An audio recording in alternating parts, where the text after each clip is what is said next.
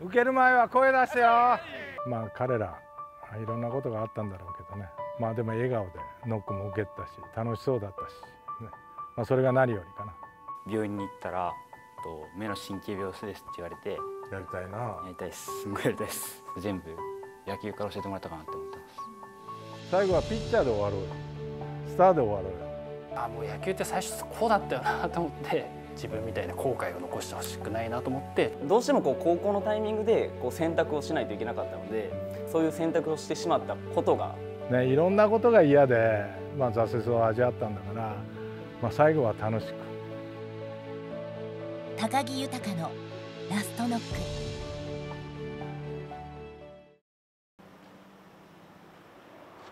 久しぶりのグラウンドに立った選手たち。豊さんはどんな言葉をかけるのでしょう？はい集合。はいここら辺でいいよ。はい座ってください。あのまあいろいろ午前中というか、まあ、先ほど話聞いたけども、まあ、その時と全然表情が違うなグラウンドに出ると、ね、やっぱり野球好きなんだね。体を動かすっていうのが好きなんだね。ね安心したわ。でこの球場まあ立派な球場だけど君たちのために借りた。だから十分楽しんでほしいし。それと言っとくけどまあ怪我がないように。これからやってもらうことは、まあ、キャッチボール。でノック少し軽く受けたい人。受けたい？はい。マウンドで受けてもらうから。これマウンドってどういう意味があるか分かるか？ピッチャーってやっぱスターなんだよね。やっぱピッチャーが投げないと野球始まらないし。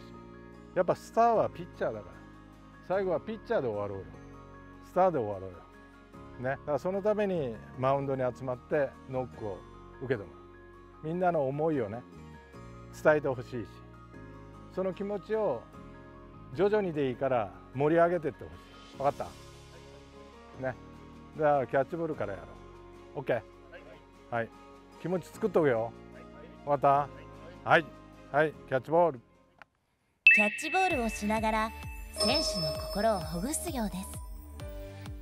これが豊流のコミュニケーション。いやもうフォームが馴染んでるっていうかもう覚えてるよね、うん、どこやってたんだポジション。ライトが主ですね、うん、ピッチャーやればよかったね。あピッチャーはなんかバッティングピッチャーでやらされてました本当か？本当ですおおナイスボール。ああナイスボール。2球に1球やな。懐かしいっす。何年もやってなかったんで。なんかおっさんになったなお前。ずいぶん見ないうちに。懐かしさと緊張感があって思いしんどいですねキャッチボール。私は当たり前にできてたことがこうやると当たり前にできなくなるっていうのを痛感します。久しぶりにグラウンドで投げたのすごい違いますね。公園とかで歯医者で勤務する福永さんは高校時代にした決断に心残りが。歯医者の歯科医院の勤務医です。なるほど、はい、阪大そうです何にもないでしょ。悔いが。すごい言われるんですけど、うん、実は一つだけあって、はい、歯科医院で勤務医するってなると、うん、もう高校の時に決めないといけないんですよね。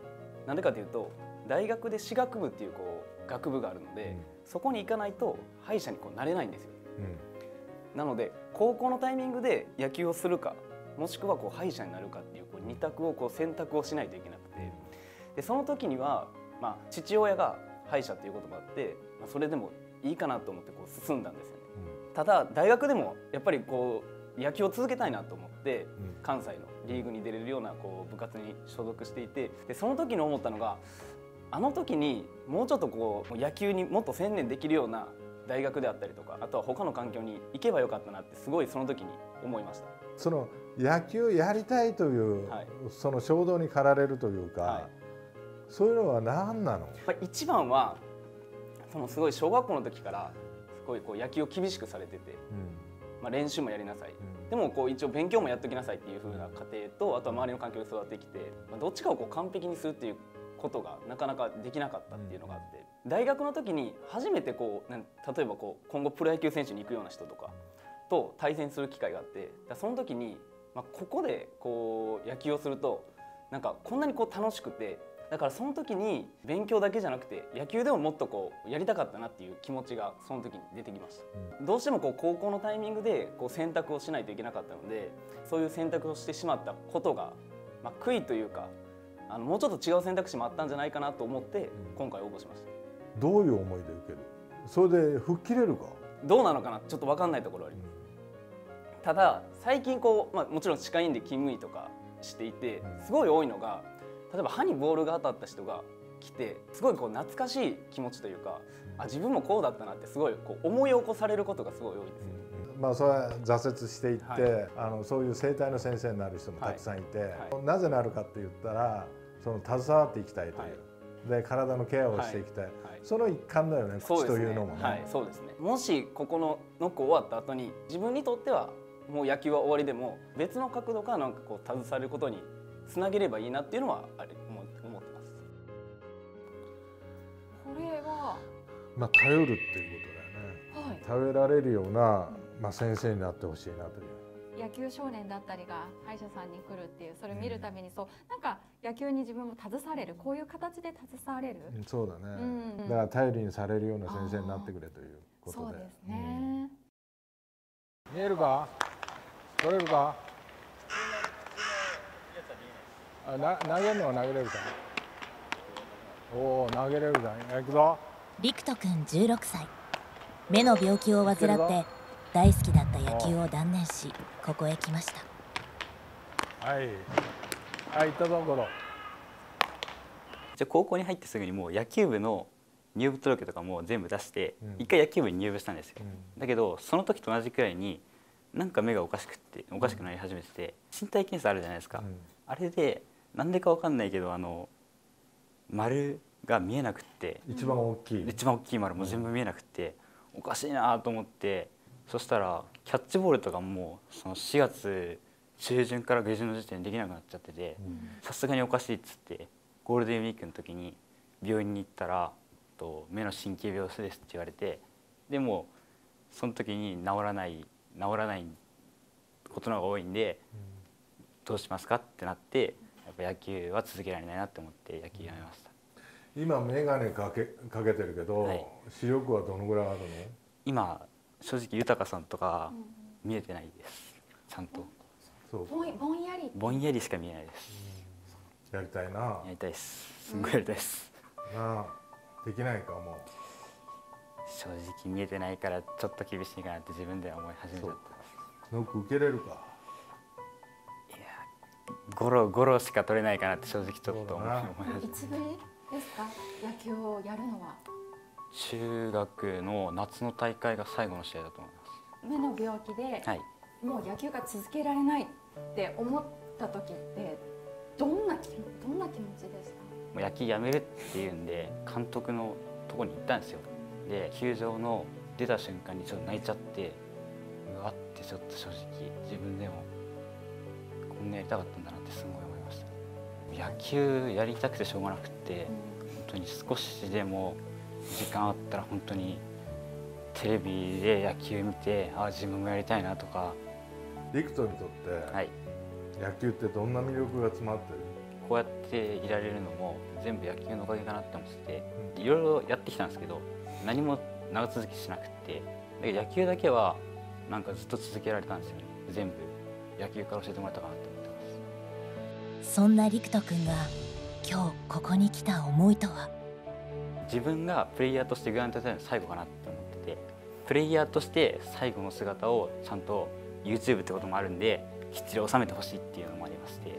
これから野球に携わっていこうとか思うの？プレイヤーじゃなくてプレイヤーじゃなくてもできるんなら本当に何でもいいんでやりたいなとは思います。じゃあ俺のノックで打てればもうしっかり打ちたいと思うわ。はい。お願いしますうん。頑張ろうな。はい。非常さを感じますよね。なんだろう。うん、野球しか長続きはしなかったってな、うん、いやその日やね。もう心だな。うん。心、うん、陸斗君には。これはどういう思いで？いや目が不自由でね。あれだけどいろんな目があると思うんだよ、はい、で心の目というか、うん、ね。あそういうのを開いてほしいしまあ心ということをね、うん、えー、書いたけど。いいのかな俺のノックで最後な。いやでもそのね機会がやっぱりないからどうしても豊さんにそのノックで、まあな。思いを断ち切りたいっていう。収めたいって言ってたからね、うん。うん、映像に。そうですね、はい。よし集合してはいこっち。はい今からノックするで。いや軽くな。で気持ちを本当作ってくれ。な。軽くしか打たないから。ね。はい向こう行って。ボール置いてって。今日のためにバットを新調した豊さん。新調したぞ。ここからは好きなポジションでのノック練習。で内野はオールファースト。はい、はい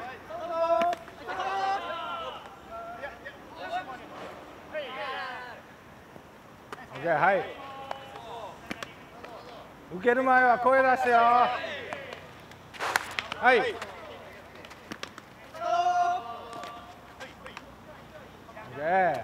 はいショート。オ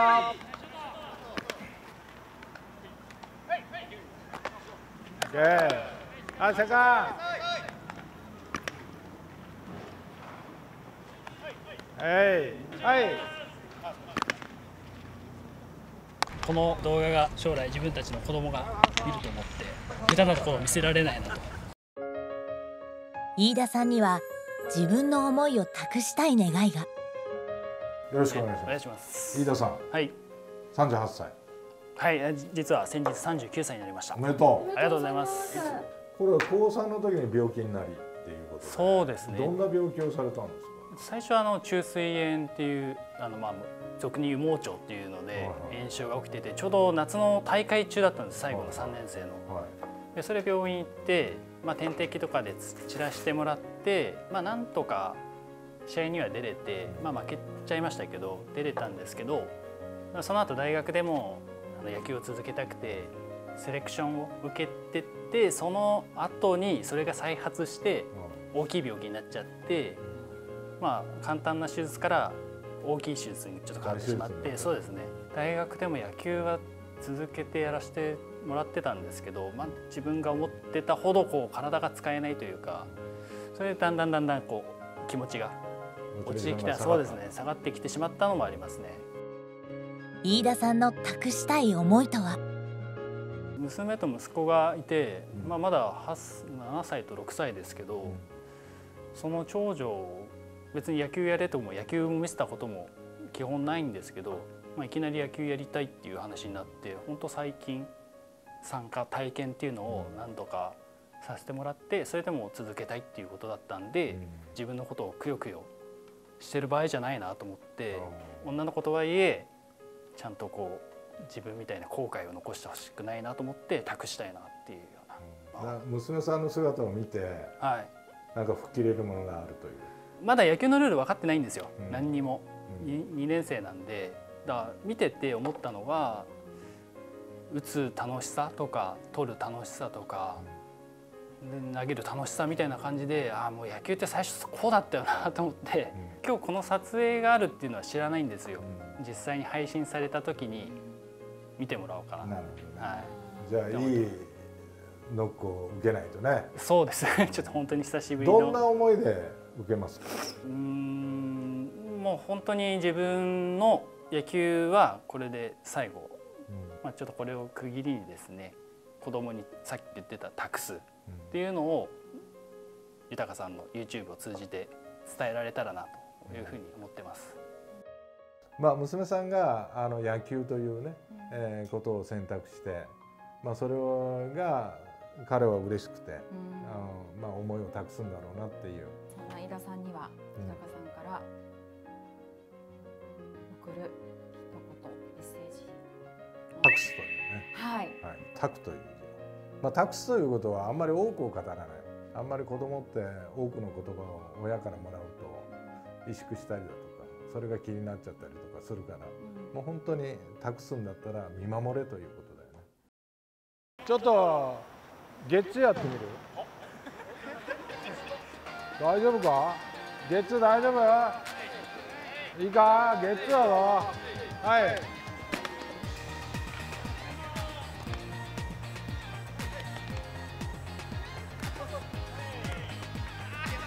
ボロボロやないかい。はい。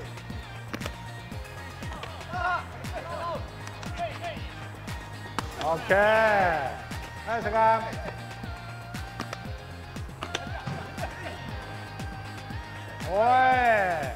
土壌土壌か？土壌。やっぱりグラウンドに出ると生き生きしてるしやっぱ野球が好きなんだなっていうのが伝わってくる。まあ、楽しいことだっていうことを彼らはよく理解して、まあ、やってるかなっていう、まあ、ただいい区切りにねやっぱ慣れるように、まあ、してもらいたいなと。まあ、悔いを残した人っていっぱいいるんだろうけどでもなんか俺の力でそういうものが本当に吹っ切れるんであればね本当にありがたいと思うしまあ彼らいろんなことがあったんだろうけどねまあでも笑顔でノックも受けてたし楽しそうだったし、まあ、それが何よりかな。こんな感じだったなっていうあれありますよね。楽しさと辛さと暑さと最高ですね。久しぶりでしたね。グラウンドでなんかこんな声出せるとやっぱり。風力来てるんですすごい懐かしい。自分の衰えを感じました。今日を機に引退します。最後は最後だけどすごい楽しかったです。思った以上に動けないですね。気持ちはちょっと戻りました？昔に。そうですね。良かったです。疲れました。けど楽しかったです。最後の1球があるんでしっかりと悔いなくみんなで終われるように頑張っていきたいなと思います。年齢職種は様々ですが今日野球を通して絆が生まれました。やっぱ同じグラウンドになって一つのボールでプレーしたりだとか練習するとやっぱつながりはできるよね。もうこれは自然とね。そこが野球のいいところだし、ね、いろんなことが嫌で、まあ、挫折を味わったんだから、まあ、最後は楽しく、まあ、どんなことが聞けるのかね、まあ、楽しみにしたいと思います、はい、盛り上がってきた？気持ち。え？本当？もうしっかり言えるか？言えるか？みんな大丈夫か？悔いを残さないぞ。いいか、分かったか、その思いの丈をマウンドで大きな声で喋ってください。今後も野球は死ぬまで愛し続けたいな自分自身の野球の思いはこれで区切りをつけます。やっぱりもう自分は限界があるなと。感じました。第二の人生を歩む決断を。自分の中では申し訳なさとずっと後悔が残ってました。ここでしっかりけじめをつけて終わりにしたいと思います。今でも野球は大好きですし。野球という道では輝輝くことはできませんでしたが。本当であれば今もずっと大好きな野球をやっていたかったです。ここに来てノック受けたいと思うぐらいだからその思いっていうのは深いと思うしね高木豊のラストノック最終回近日公開。